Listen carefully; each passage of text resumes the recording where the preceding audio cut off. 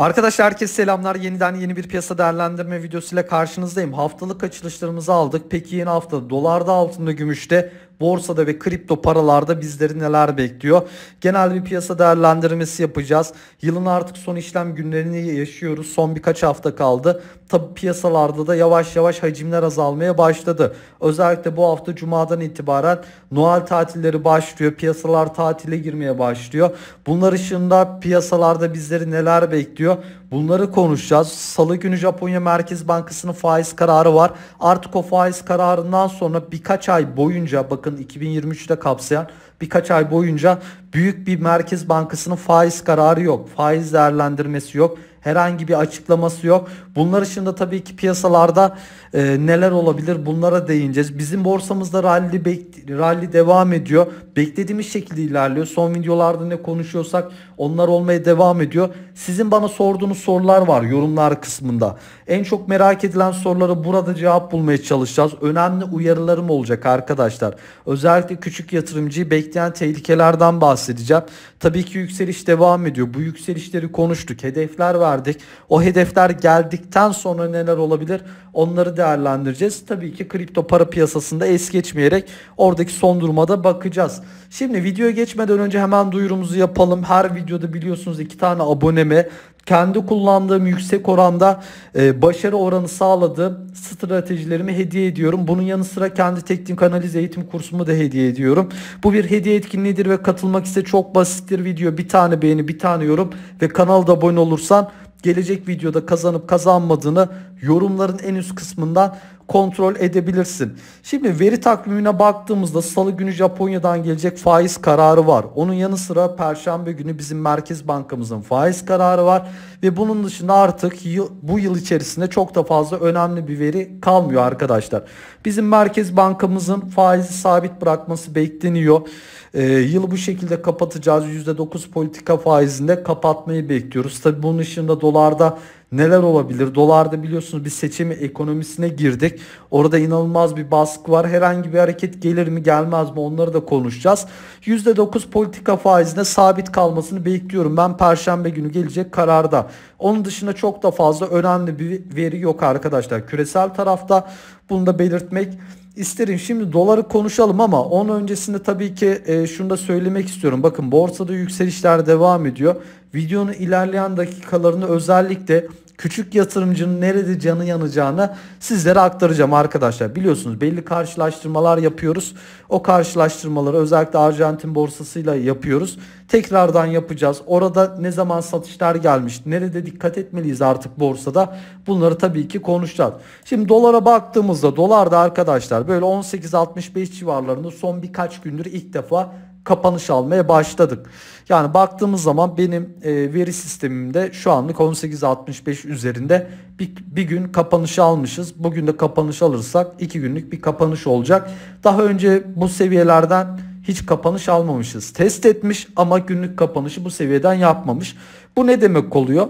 Hani ufak ufak dolarda güçlenmeler var. Bakın içeride de böyle ufak ufak haberler geliyor işte siyasetle ilgili vesaire. Bunlar böyle doları ufak ufak yukarı götürmeye başladı. Ama bu ben büyük bir hareket olacağını düşünmüyorum. Özellikle 2022'yi bu şekilde kapatacağımızı düşünüyorum. Yani dolarda çok büyük bir hareket görmeden ve 2023'ün Şubat ayına kadar da herhangi bir hareket beklemiyorum. Çünkü dolarda inanılmaz bir baskı var. Önümüzde bir seçim dönemi var ve bu seçim dönemine kadar baskılar devam edecek ama ben Şubat ayına kadar şu anlık dolarda herhangi bir beklentim yok. Tabii ki de dolarda bu kadar baskı, enflasyonun bu kadar patladığı ortamda e, faizler artırılması gerekirken yani dünyada bütün merkez bankaları faiz artırırken bizim enflasyon bu kadar yüksek olduğu ortamda faizleri indirirken doların bu seviyede kalması tabii ki birazcık da e, bunun üzerindeki baskıyı bize gösteriyor.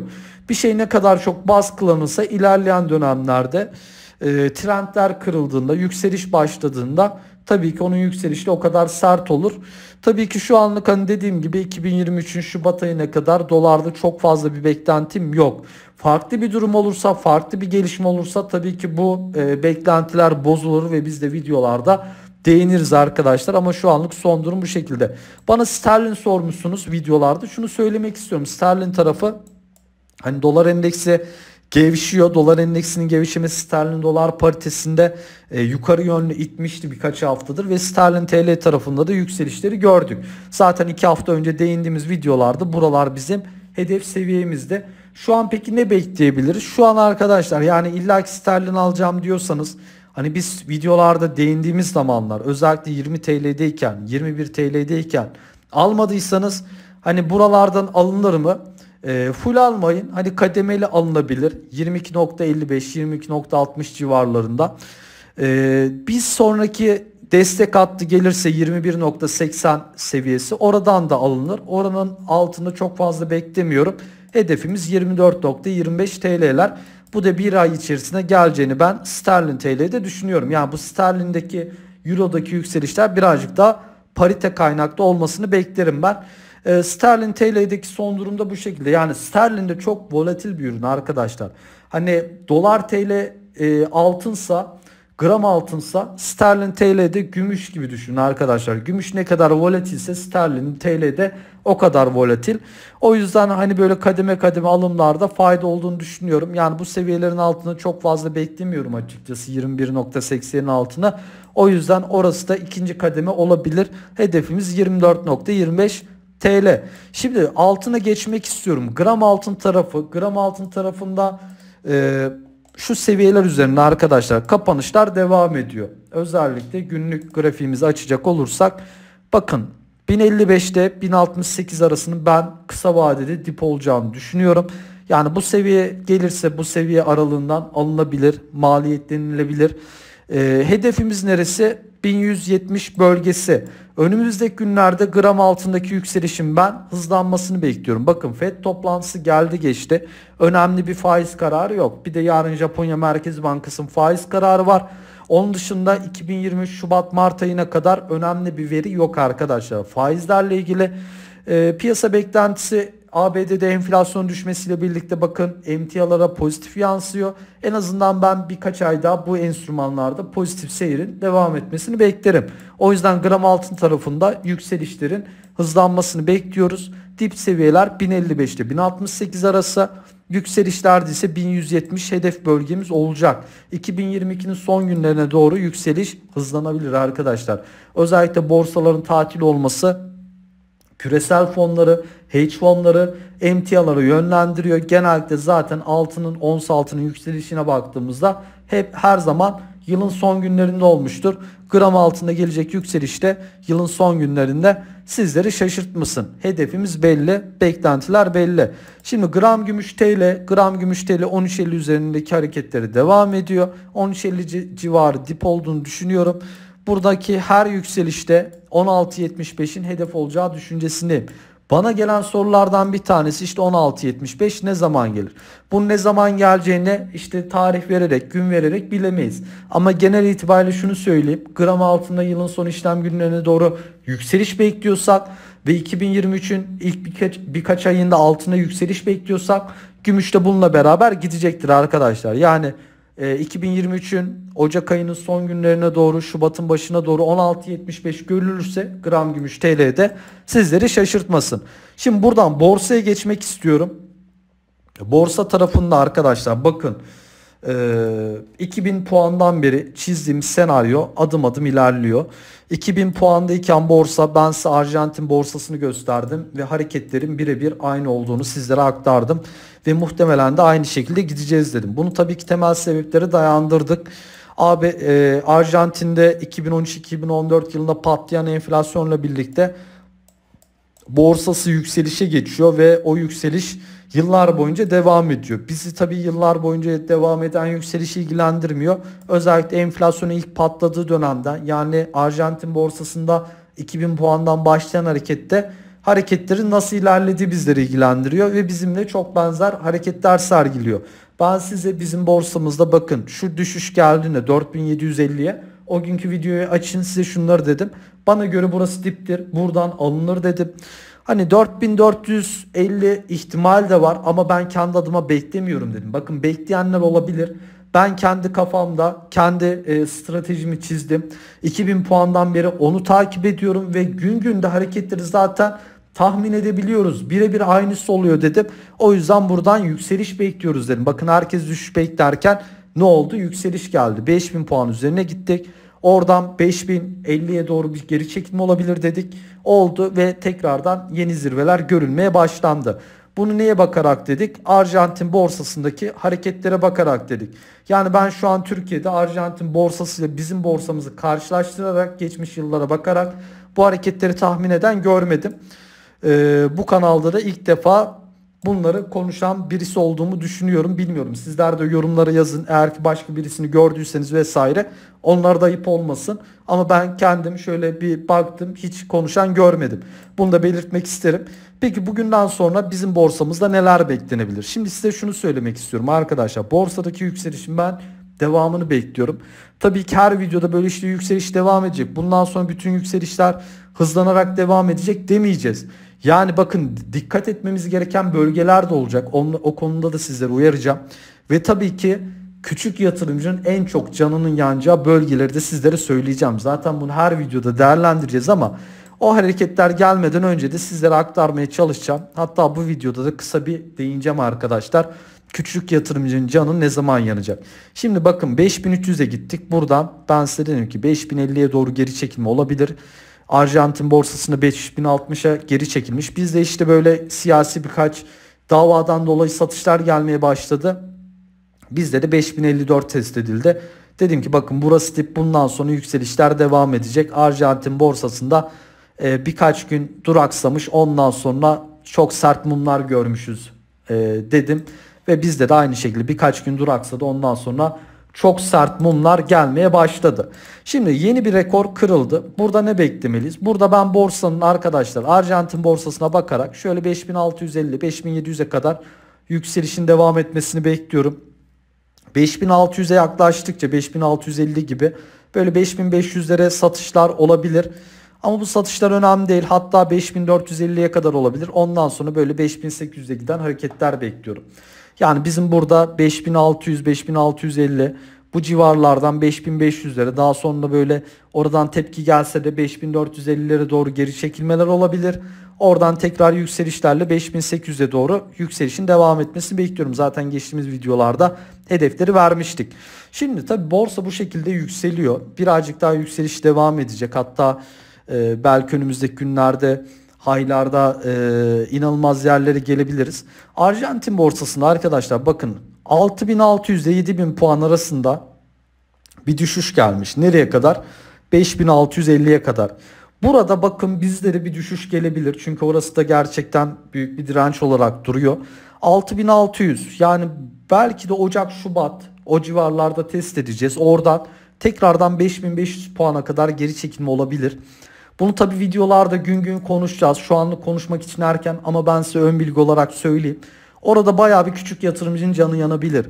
Yani oralarda işte tepeden alanlar bu düzeltmede canı yanabilir. Tabii ki önceden alanlar vesaire onları çok etkilemeyecektir. Ama tepeden alanlar özellikle borsaya bu kadar küçük yatırımcının girdiği dönemde e, illa olacaktır ve orada birçok kişinin canı yanacak. Orada yükselişler bitmeyecek. Sonra bayağı bir bekletecek belki bizi bir ay falan ama sonra tekrardan 6800'lere giden hareketler göreceğiz. Sonra tekrardan bakın 7500 seviyesinden 6400 seviyesine kadar bir düşüş gelmiş. Burada Arjantin borsasında bizde de bu tarz hareketler olabilir. Bunlar o zamanlar gelsin. Grafiklere göre konuşacağız ama bence en önemli küçük yatırımın canı yanacağı dönem arkadaşlar. Eğer ki gelirse bakın 9500-10000 puan arasında olacak. Çünkü 2000 puanda Arjantin borsasına başlayan harekette 10.800-10.900 seviyesi test edildikten sonra %50 düşüş geliyor arkadaşlar. 6.600'e kadar. Bakın burada yani belki bu e, 2023'ün ilk 6 ayında olacak. Ve birçok kişi burada batacak arkadaşlar. Ya bu hareketleri konuşacağız. Borsadaki yükselişler genel itibariyle devam edecek ama gerçekten küçük yatırımcı yatırımcıya da çok büyük oyunlar kurulacak.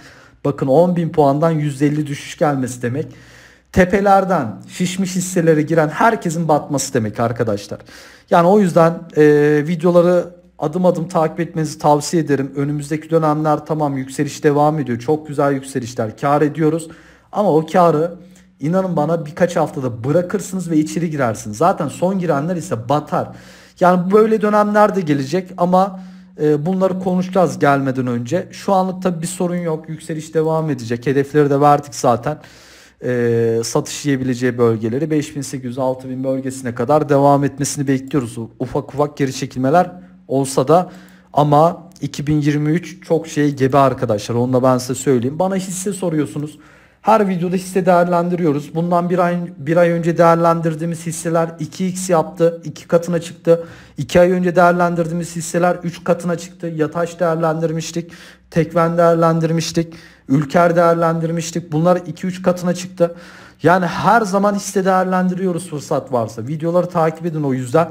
Yani yorumlarda soruyorsunuz. Muhtemelen onlar yeni izleyenler, yeni aramıza katılanlar.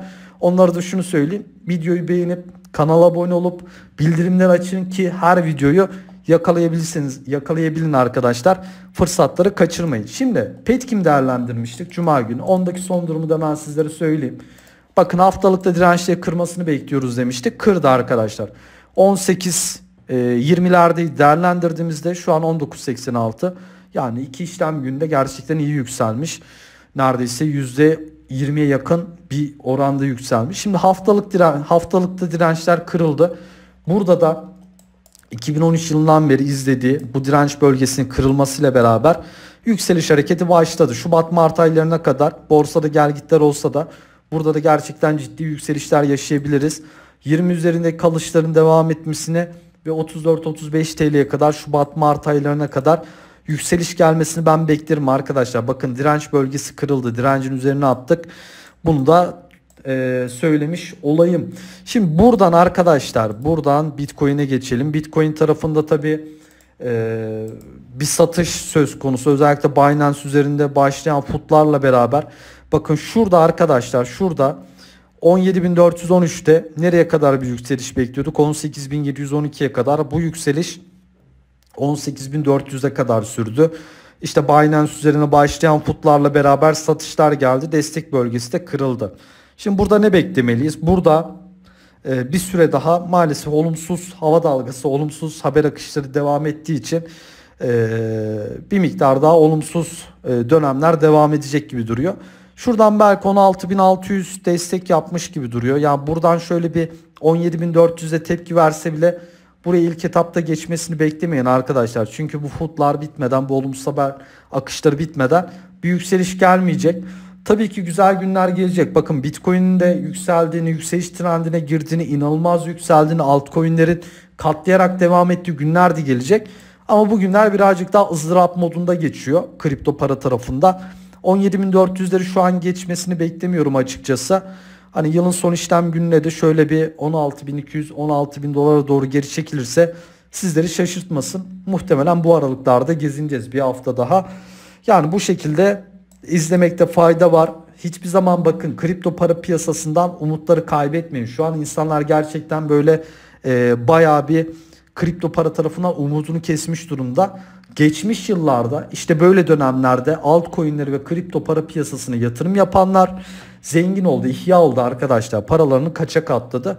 O yüzden böyle dönemleri e, yatırım yaparak geçirmekte fayda var. Zaman zaman zaten ben uzun vade altcoin'leri Twitter'dan paylaşıyorum.